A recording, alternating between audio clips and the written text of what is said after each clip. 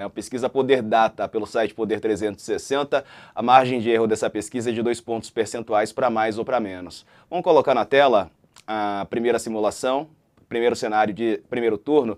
Esse tem mais é, nomes, né? O ex-presidente Lula do PT lidera com 42%. O presidente Bolsonaro do PL tem 35%, Ciro Gomes do PDT 5%, João Dória do PSDB 4%, Janones do Avante 3%, Tebet do MDB 2%, é, de Ciro até Tebet, todos estão é, tecnicamente empatados aí por conta da margem de erro.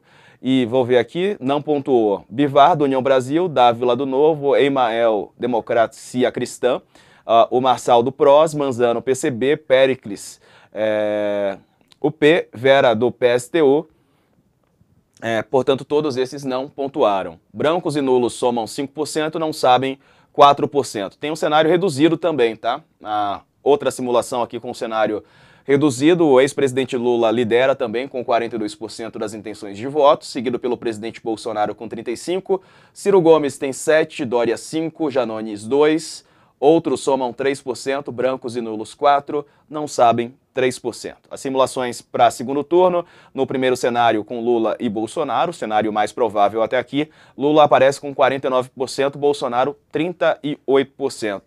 É, contra o Ciro Gomes, o presidente Bolsonaro 40%, Ciro Gomes 42%.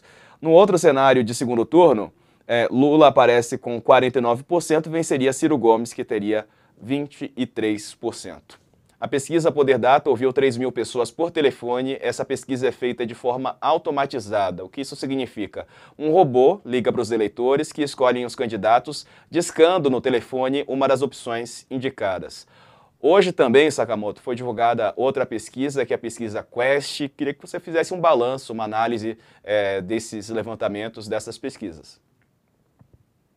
Bem, Diego, começando pela Poder Data, a Poder Data ela tem uma metodologia diferente, né, como você mesmo colocou, tem uma metodologia automatizada, e ela é, faz parte de um grupo de pesquisas que tem mostrado o presidente Jair Bolsonaro um pouco mais próximo do ex-presidente Lula, né. Agora, nesta, apesar das duas pesquisas não poderem ser comparadas, porque entra nome de candidato, né, todas aquelas coisas, e aí você estatisticamente não pode comparar, apesar disso, a diferença entre Lula e Bolsonaro na pesquisa anterior de abril era de cinco pontos, agora é de sete pontos. Não dá para dizer que Lula e Bolsonaro estão se distanciando, dá para dizer, pelo menos, que houve um, uma estabilidade né, entre os dois levantamentos, houve uma estabilidade. Essa estabilidade, o Diego, ela também está presente na, na, pesquisa Quest, né? Na, na, na, Genial Quest houve essa estabilidade também. Se for pegar dentro da magia, o Lula está mais ou menos dentro da mesma posição, está marcando 46 pontos. Bolsonaro variou, mas também dentro da margem de erro, né? Vem mantendo mais ou menos o que aconteceu nas últimas, nos últimos levantamentos. Você tem um quadro de estabilidade, você variou internamente. Teve, por exemplo, na Quest houve um aumento de evangélicos entre os votos de Bolsonaro, mas aí Lula houve um aumento de mulheres entre os votos de Lula, então, de certa forma, as coisas se compensaram e se mantiveram. Né? O que acontece é que gerou todo um fuzuê hoje a pesquisa Quest, exatamente porque é, uma das perguntas era o que, que aconteceria se uh, o ex-governador e ex-ministro Ciro Gomes saísse da, da disputa, e aí aparece Lula com 50% a 51%, e isso gerou muita celeuma, né?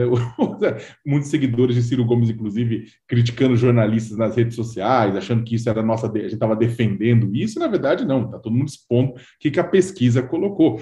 Porque o que, que isso aponta? Aponta que Ciro vai desistir? Longe disso, ele não vai desistir, né? Independentemente se os números dele cheguem perto de 10, como na pesquisa da, do, do Quest, ou cheguem perto de 5, como na pesquisa do Poder 360. O que importa é que isso mostra que, chegando na, na reta final, lá uma semana antes da eleição, se mantiver essa polarização entre Lula e Bolsonaro, e Ciro, Janones, Dória, muito embaixo, o que, que vai acontecer com o voto dessas pessoas?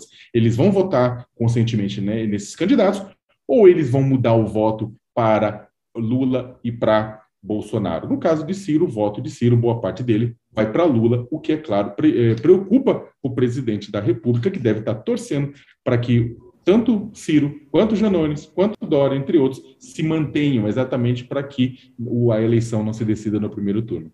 Pois é.